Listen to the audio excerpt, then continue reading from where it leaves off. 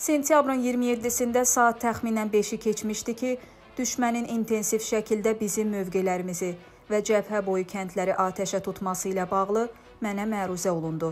Təbii ki, mən dərhal iş yerinə gəldim və müvafiq tapşırıqlarımı verdim. Bunu Müdafiə naziri general-polkovnik Zakir Həsənov Real TV-yə müsahibəsində deyib. Saat 6 radələrində bunlar artıq ağır artilleriyadan atəş açmağa başlamışdılar. Bilirsiniz ki, bizim itkilərimiz də oldu. Dərhal mən Ali Baş Komandana məruzə elədim və Ali Baş Komandandan müvafiq tapşırıqlar aldım. Eləcə də əks hücumla dəmir yumruq əməliyyatının həyata keçirilməsi ilə bağlı göstəriş aldım.